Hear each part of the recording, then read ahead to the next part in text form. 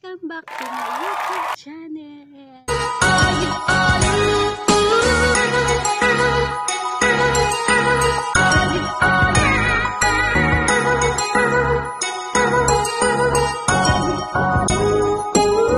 May share po ako sa inyo. Kamamshi, guys. Ito about paano mawawala ang scars sa baga. Way back 2014, lumipad ako papuntang Abu Dhabi. Naka 6 months ako at nag-apply ako ng ikama. Hindi na aprobahan ang ikama ko. Kaya ganun. Ang ginawa ng amo ko, pinauwi ako kasi nga ang amo ko ay isang pulis. Sumusunod lamang siya sa batas. Iyak nga ako no that time kasi andun na ako mga manshi, di ba? Kailangan bumalik pa ako ng Pinas. Okay naman yung aking sitwasyon doon. Mabait yung amo ko. Mabait yung pamilya ng amo ko. Yung, yung si Baba, si, si Mama, saka yung amo ko talaga. Bata pa kasi yung amo ko eh. Saka ay yung amo ko ay clerk sa Supreme Court tapos yung yung mga kapatid niya pulis tapos yung baba ah, pulis din lahat sila mga pulis nangihinayang nga sila dahil sa uuwi na ako kasi hindi nga naaprobahan ang ikama ko dahil pa-extray ako sa dun sa pinakang health center nila nakitang may scars ang paga ko kaya nakakalungkot mga mamsi dahil nga andun na ako. Nakakapanghinayang di ba mga mamsi? Kasi pag may scars ka sa baga, ang hatol doon may TB ka. Hindi ka pwede mag-stay doon. Yung mga mamsi. Pababalikin ka dito sa Pinas. Kaya bumalik ako, nag-apply ulit ako papuntang ibang bansa, hindi na ulit na-aprobahan ang aking medical dahil unfit to work ako. Yun ang sayang ang pera mga mamsi dahil apply na apply ka wala nagiging unfit to work ka. Yun ang problema mga mamsi. Kaya ayun pag uh, nagpapamedical ako ninenervous ako dahil nga yun ang nangyayari nagpipil yung aking medical kaya nung lockdown syempre wala kang magawa yun nag-workout ako everyday kasi ang pag-workout napakaganda sa ating katawan. Uh, nakakapag-lose ng weight, di ba? Tapos nagiging healthy ka, gumaganda ang iyong katawan. Tapos yun. Ginawa ko sa umaga, uh, kumain ako ng buto ng malunggay. Anim na buto.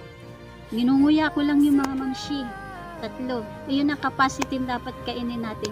Alam naman po ninyo ang benefits ng malunggay. Maraming benefits sa ating katawan yan.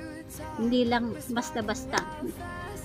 Kumbaga, kilala nga ito sa US na moringa olipera. Yun mga mamshi. Kilang, ayun, ang ginawa sa umaga pa lang, inakain ko na yon. Tapos, iinom ako ng isang basong tubig. Ang sarap, ang tamis ng malunggay pang-prevent ito ng cancer. Ayun. Tapos sunod naman, water okra. Sa gabi, nag nagpe-prepare na ako ng water okra. Ang gagawin ko, apat na okra. Hihiwa-hiwain ko ng apat yung isang okra ngayon. Tapos ibababad ko yon sa isang tumbler.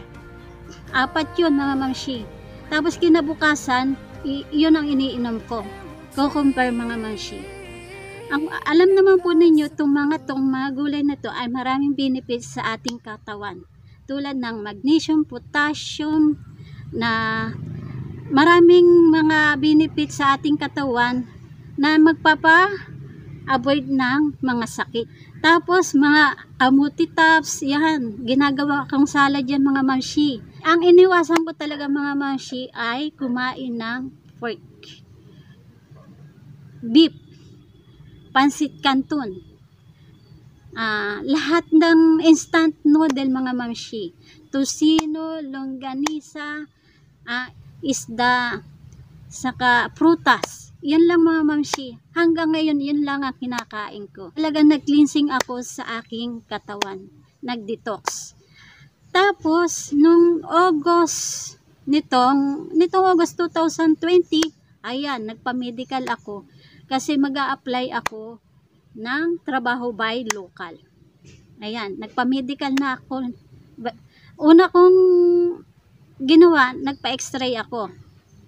Ayun. Una next kasi syempre baka unfit to work na naman ako. Eh, yun na naman, bagsak na naman ako sa medical. Kaya, inuna ko muna ang x-ray ko. Kaya, ang ginawa ko, pumunta ako sa St. Michael, nagpa-x-ray ako. Kabado ako na that time, mga mansi. Ayun. Pagdating ko doon, ayad na ako, nagpa-x-ray na ako. Tapos sabi nung, kuha na, tela, ki- kinabukasan, pumunta ka rito para makuha yung result. Ayun. Kinabukasan, pumunta ako. Ayun. Kinuha ko na. Uh, nervous nga ako kung ano ba talaga ang magiging resulta ng x-ray. Baka bagsak na naman ako. Ayun, nakita ko na okay na medical ko. Walang nakitang scars sa baga ko. Ito mga mansi. Ayan. Ayan mga mansi. Ayan. Ayan. Walang nakitang scars sa baga ko. Amazing talaga ng mga gulay sa ating katawan. Kaya guys, huwag kayong mawala ng pag-asa. Meron kayong scars, maging healthy living lang po kayo. At tiwala lang sarili. At kung may bala kayo mag-abroad at may scars kayo sa baga, mag-healthy living. Kumain ng masusustansyang gulay, prutas, mawawala ang scars sa iyong baga. Sabi nga ng doktor sa akin, wala daw gamot sa scars. Iyon mga mansi. Pero napatunayan ko ang scars kung kung may disiplina ka sa sarili at alam mo kung paano i-manage ang iyong katawan, healthy living ka mga mansi at alkaline na ang katawan mo, hindi ka na magkakasakit, malilinis pa ang organ mo sa katawan. Iyan mga man. Sa isang damit na lang, for example, sa isang damit, naglaba ako mga mamshi. Ah?